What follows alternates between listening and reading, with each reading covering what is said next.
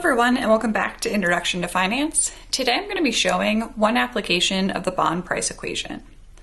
So typically in Introduction to Finance or Principles of Finance course, you're going to see two types of bond problems. You're going to see you're going to start off with ones with annual coupons, then you're going to build onto that and end up with semi-annual coupons. So the application I'm going to be showing you today is a bond with annual coupons. First, I'm going to show it to you using the equation method, then once we solve it using the equation, we're going to use the time value of money functions in our calculator to solve the exact same problem. So if you're just interested in either the formula or the calculator version, I have each one of the video breakpoints linked down below. I'll also have this note sheet that I'm filling out throughout this video today linked down below as a PDF as well. So let's start off with the different inputs here. So first up, we have a face value of $1,000, three years to maturity remaining, a coupon rate of 5%, and a yield to maturity of 7%. So first up, we're going to start off with a timeline and label each one of our cash flows. The one that's easiest to start with is going to be this face value. So if I were adding my face value to my timeline, the face value always comes at maturity. So I'm going to add my $1,000 to year three. Now next up, I need to determine the interest payments that I'm going to receive from this bond, which are the coupons for the bond. So we get the coupons for the bond from this coupon rate. So the coupon rate equals the annual coupon divided by the face value. So now what this tells me is I can take my face value, multiply it over here to the other side, to my coupon rate times my face value, and that will give me my annual coupon.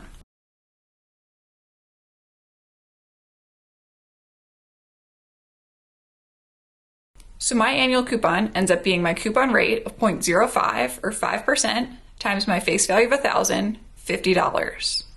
And again, in this problem, these are all annual coupons, so that's going to happen each year.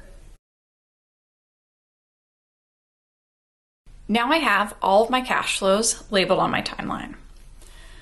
So if I look at my equation, I want to figure out what the price of the bond is today or at time zero. So the price of a security today is equal to the present value of the future cash flows. So I need to take each one of these coupons and discount them back to times zero. And then I need to take this face value and discount that back to times zero as well. So I have to break this into two different equations. First, let's look at the $50 coupons. So if I have a repeating cash flow over a fixed amount of time where each cash flow is equally spaced, that's going to be an annuity. And I'm bringing it backwards on my timeline so it's present value. Then the $1,000, that only happens one time, so that's a single cash flow. And again, I'm bringing it backward on my timeline. So that's the present value of a single cash flow. So next out here, I have written the present value of an annuity equation, then the present value of a single cash flow equation. So let's start with the inputs for our annuity. First up, we need our coupon. So our coupon is going to be that $50 that occurs each year. Then we need an R value. So this is where you have to really pay attention here because the R value is what your discount rate is. It's not the rate that you determined the coupons with. So the discount rate in this case is going to be the yield to maturity of the bond or 7%. So our R is our yield to maturity, which is 7%. Then for our T, T in these annuity equations, I like to think of as your total number of payments or total number of coupons. So our total number of coupons here is one, two, three. So our T is going to be three coupons, right? Or in this case, years. So now I can fill out that first term.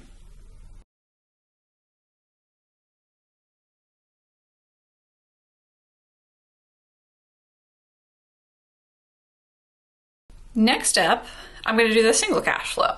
So for the single cash flow, first I just have my face value or the future value. So that's going to be $1,000. And I'm discounting that back three years at my discount rate of 7%. So now I'm going to solve each one of these.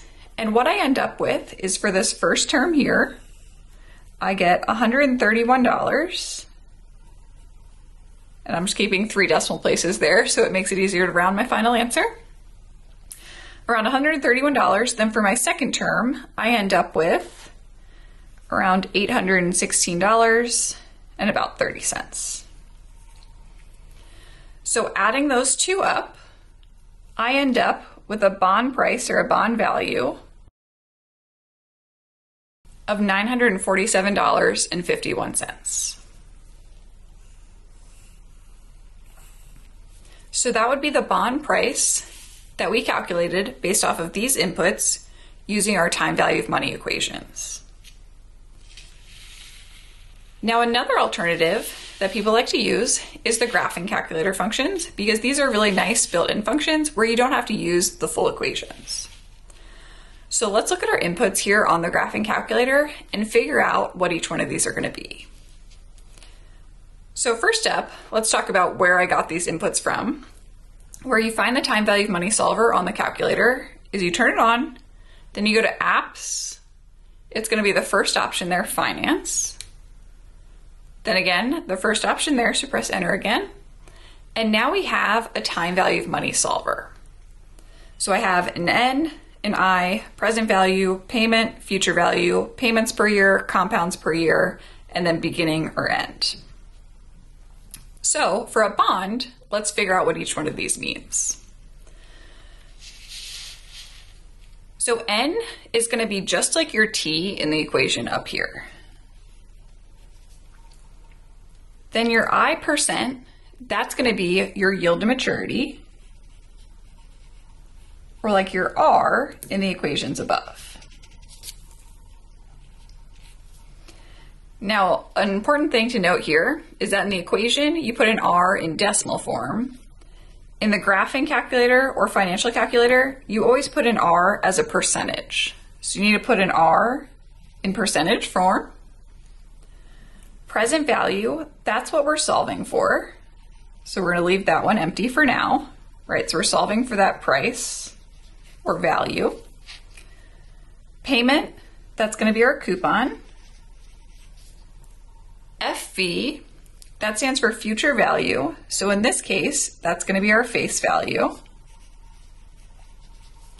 payments per year and compounds per year, I never change on my calculator, so I always leave those as one and one. What I change instead are the inputs up above. For this case though, everything's annual, so you don't have to worry about it. And then the last thing you want to check is that end is highlighted, not begin. So end means that each one of these cash flows happens at the end of each period, which is exactly what we have here. So now if I go through and fill in each one of these inputs, what I'm going to type in, my T is 3, my I is 7%, so I'm going to put that in as a 7. Present value is what I'm solving for, so I'm going to skip that for now. My coupon is $50. Face value is 1000 And you'll notice I put both of these in as positive numbers. So now let's go through and type each one of these inputs into the calculator. So first up, I have three is my N. And after each number I type in, I just press enter. Seven is my yield. And remember, we want to put that in as the percentage. The present value, you can see that there's already an answer there. That's okay, you're just gonna skip over it. So just press enter again. Takes us down to payment. The payment here is 50. And then face value, I already had a thousand there, but I'll just type it in again. and then just to note again, that payment I've set to end. So end is highlighted.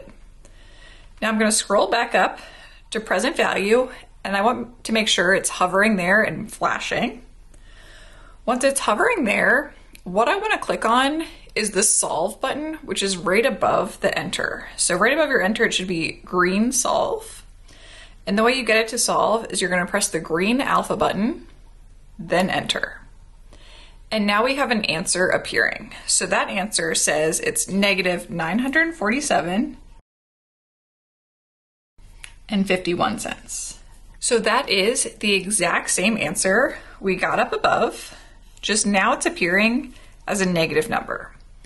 The reason for that is both in the calculators and if you solve the same problem in Excel, it's going to think about it as cash inflows and cash outflows. So this is a negative number, so that we can think of that as paying $947.51. That would be a cash outflow. Then we're receiving